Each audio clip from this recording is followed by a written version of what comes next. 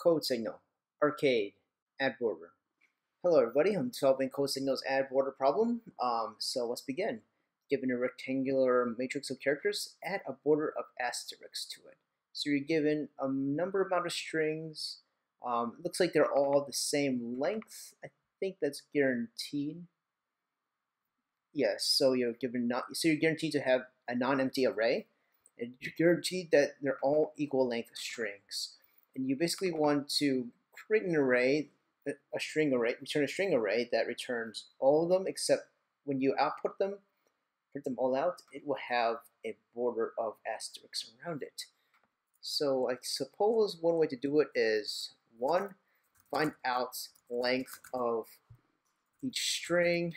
Um, number two, and since we know that you know the, the length of the strings doesn't vary, we just have to do that. We just need the first string of the array. And once we know the length, we create a set of asterisks that match that length of array because we want to go and return it to the array of string of asterisks. Number three, let's think about this. Um, once we create the length of the string and we create a set of asterisks and match the length of the array, um, so I guess the first thing we should do is add first set of asterisks to um, a string array. Afterwards, add each word in picture, but prefixed slash suffixed with an asterisk. Afterward, we add, um, finally, add, um, add another set of asterisks to the string array. Um, so what we can know for sure that string array is going to be equal to the length of the picture array plus 2 because of the we need the um, you know the border starts with um, the border the border the end border and the beginning border there'll be two sets of those asterisks. So let's begin. So first we want to find we want to create the set of asterisks that match that length array so I will just call it ast to make it simple. ast equals, let's think about this. I'll, I'll just call it set asterisks right here. And what we really need is just the length of one of those words. And since it's not non-empty, we don't have to have a check. But you know, during your interviews, it's probably nice to have that check in there um, to see, make sure it's not empty. So public. Um, let's see here. I would return the asterisks here. We know what's the length of the, um, those. Um, we want to know what's we know what's the length of the one of the words in the picture array, and that's going to be string asterisks equals. We have this one because we know that this one is at least true. This one um a set of these asterisks is at least two asterisks, two characters more than um, a finalized version of adding asterisks to each word in picture. So, see here, int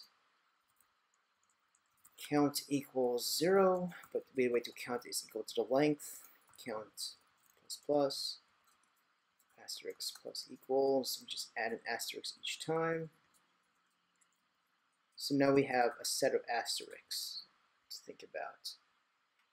All right, and now we need to create a string array that is going to be equal to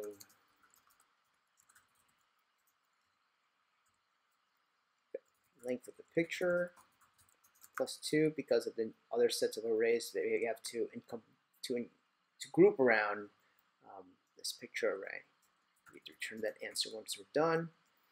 Um, and we need the index to know which part of the string array that we're turning to I, I could say the first one is going to be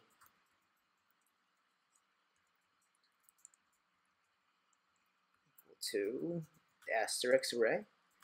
But for each string in the picture, each word in picture, we want to um, see here, zero here. I might as well make this end equals to one because what I want to do is plus plus. Make it zero. Let's be nice. Let's make sense. All right, so for each word, I'm going to do answer index. It's going to equal, it's going to have be um, enclosed, each word is going to be enclosed by an asterisk, a set of asterisks. And uh, once it's done, I want to that one with um, a final set of asterisks. All right, there you go. Submit tests. And it works. All right, guys, I hope you like this content. Um, I know it's, it's quite straightforward and easy. Um, if you have any questions, please leave it in the comments below. Um, thank you for watching, and please like and subscribe.